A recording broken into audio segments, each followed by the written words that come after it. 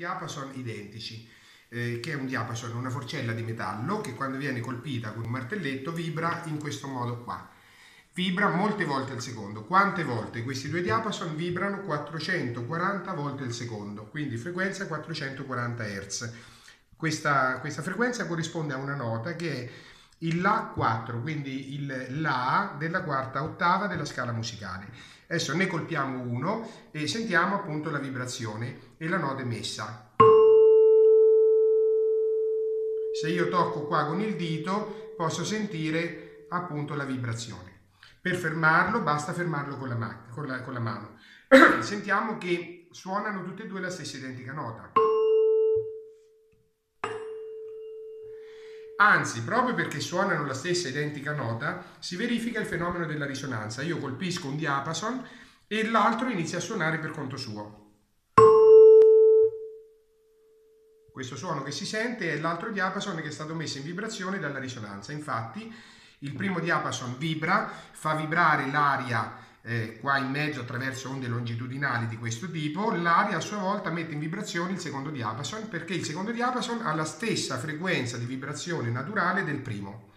Adesso c'è anche da dire che questa è la cassa armonica che non è un caso eh, che ha queste dimensioni. Vedremo infatti che la lunghezza della cassa armonica corrisponde a un quarto della lunghezza d'onda. Ora io cambio la frequenza di oscillazione, come faccio? Per cambiare la frequenza di oscillazione metto un pesetto in cima al diapason. In questo modo il diapason, eh, avendo la, la, punta della forcella appesantita, vibrerà più lentamente. Infatti possiamo sentire che adesso la nota è più bassa. Prima battiamo il diapason non appesantito e poi battiamo il diapason appesantito. Sentiamo che è una nota più grave, più bassa. È circa un semitono di meno. Eh, si può misurare la frequenza di eh, vibrazione di questo diapason appesantito e si scopre che eh, vibra circa 15 volte al secondo di meno, quindi 440 Hz, 425 Hz circa. Adesso il fenomeno della risonanza non si verifica più. Quando io batto un diapason, l'altro non vibra più. Perché? Perché la frequenza a cui questo diapason può vibrare è diversa dalla frequenza di quest'altro. Questo manda un'onda sonora a 440 Hz, ma questo vibra soltanto a 425 Hz, quindi non si verifica più la risonanza. La risonanza si verifica se io abbasso il pesetto fino in fondo alla forcella. Infatti, quando il pesetto è qua in basso, è come se non ci fosse. Eh, adesso le due note sono di nuovo uguali, lo possiamo sentire e lo sentiamo anche dal fatto che si è verificata la risonanza. È la stessa nota. E il, il pesetto eh, più viene eh, sistemato in alto e più va ad appesantire la forcella. Quando è sistemato nel punto più alto la forcella risulta, cioè il diapason è più rallentato. È, è logico perché avendo la punta, la, la, la cima del diapason una massa maggiore eh, fa delle oscillazioni eh, più lente, quindi fa meno oscillazioni al secondo. Vediamo adesso che succede quando noi facciamo eh, suonare contemporaneamente due diapason che hanno eh, una, una, diversa frequenza. Eh, sentiamo adesso per esempio 440 Hz e 425 Hz insieme, sentiamo che cosa succede. Si sente questo vibrato che si chiamano i battimenti. Questi sono i battimenti.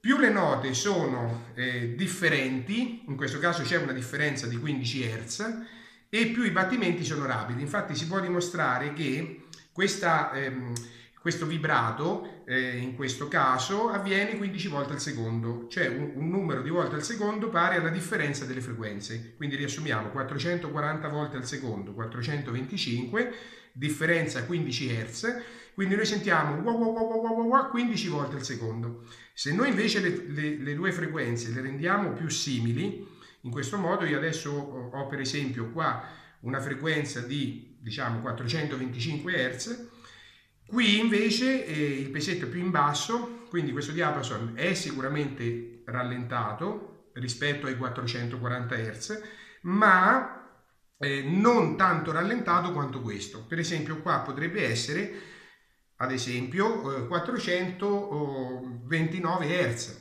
425 429. Quindi sono due note molto simili, infatti lo possiamo sentire, sono due note eh, diverse ma molto simili. Quasi identiche, questa appena più alta, appena più acuta, questa appena più grave. La differenza per esempio è di 4 Hz. Allora sentiamo che cosa accade quando li battiamo insieme. Wow, wow, wow, ecco, questi sono i battimenti. E quanti ne fa ogni secondo? Ne fa 4 al secondo. Perché 4 al secondo? Perché è la differenza fra 425 e 429 Hz. Risentiamolo. Se le note diventano ancora più vicine, per esempio 425 e 427 Hz, in questo caso farà due battimenti al secondo, la differenza fra i due.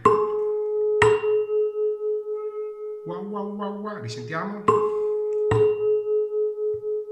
Wow, wow, wow, wow, wow, Due al secondo, perché c'è una differenza di 2 Hz.